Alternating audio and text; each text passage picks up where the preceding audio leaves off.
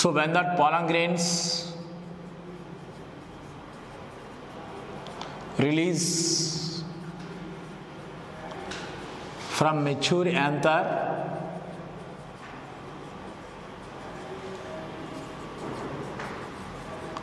reach to stigma of pistil by air, water, other factors are living organisms. So that is known as the pollination. That is known as pollination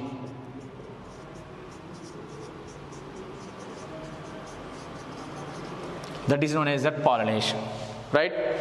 When that anther at the time of mature condition it is known as that anther then anther producing of the pollen grains this pollen grains reach to that uh, okay stigma of that gynoecium or pistil by air currents okay that is known as that uh, pollination process so it takes place by that some factors. Pollination takes place by factors. Okay. After then this pollen grains okay falls on the stigma that is known as pollen germination. Pollen germination. By the pollen germination pollen tube is formed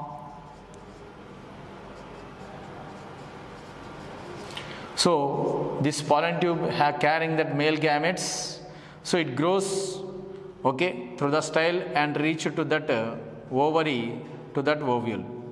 So it means pollen grains falls on the stigma and uh, after that it grows to the style and reach to that uh, ovary of the ovule. That's why it is known as uh, indirect pollination. Pollination is indirect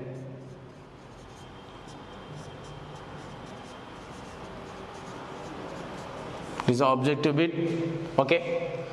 After that it means so that is known as the pollination process.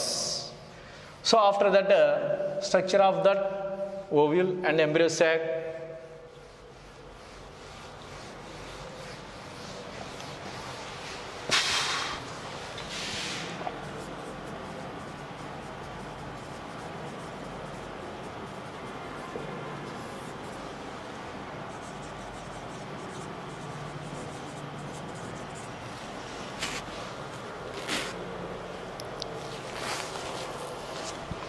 embryo sac.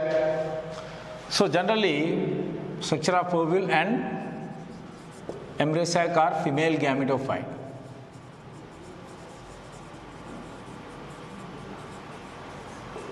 Before explaining of the structure of the ovule and female gametophyte, so these angiosperms also having that root taproot system. I am also explained that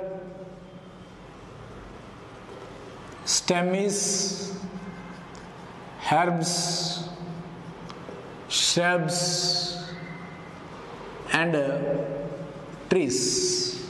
So, inside that stem and root, vascular tissues are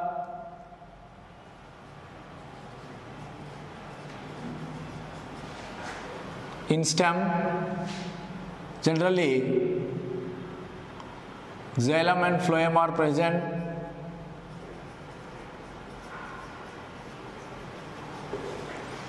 So, in the xylem, vessels and in the phloem, sieve tubes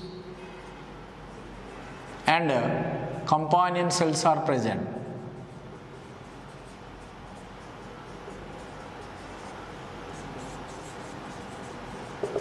So it means vascular tissue xylem. So which tissue is involved in that conduction of water and minerals? So that is known as the xylem. Which tissue is participate in that uh, conduction of uh, food material? So that is known as that uh, phloem. So in the angiosperms, sieve tubes and along with companion cells are present. So that is belongs to that phloem. conduction of water and mineral takes place by that xylem so they are known as the vessels okay so after that in this secondary growth is also present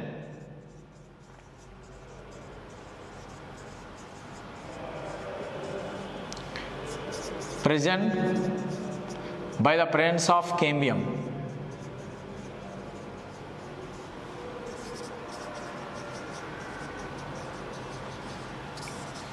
Okay? So after that in the structure of the ovule and embryo sac in the female gametophyte so generally ovule having ovule is known as an integument megasporangia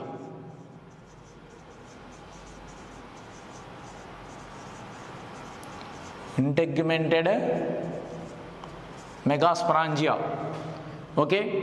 So this dip inside that ovule diploid tissue diploid tissue is known as the nucellus this nucellus covered by protective sheath this protective sheath is known as that uh, integument. Integuments are one or two. In some plants one in some plants uh, two. Okay? After that in nucellus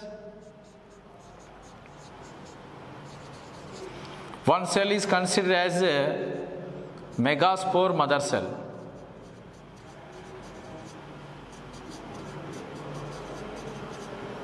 so in that megaspore mother cell undergoes meiotic division. It is a megaspore mother cell undergoes meiotic division.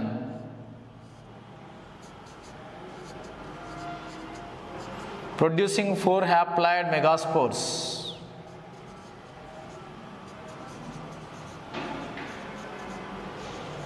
In four haploid megaspores okay out of four haploid megaspores three degenerate.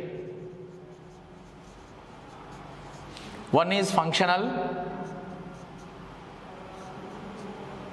One is functional.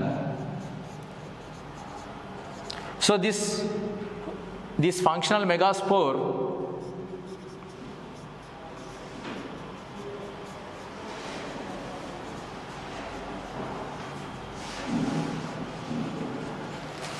So this functional megaspore undergoes okay free mitotic division. By free nuclear division free nuclear division it means in the mitotic division by mitosis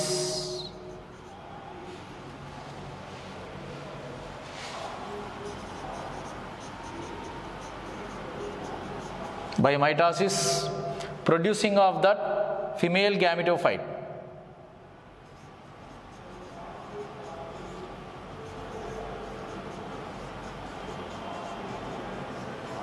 So this female gametophyte is known as that embryo sac. Okay? This embryo sac is formed from only single functional megaspore this embryo sac is formed from single functional megaspore. So that's why it is known as the monosporic type. Monosporic type of embryo sac. Monosporic type of embryo sac. So that is the development of that embryo sac. After that, the structure of embryo sac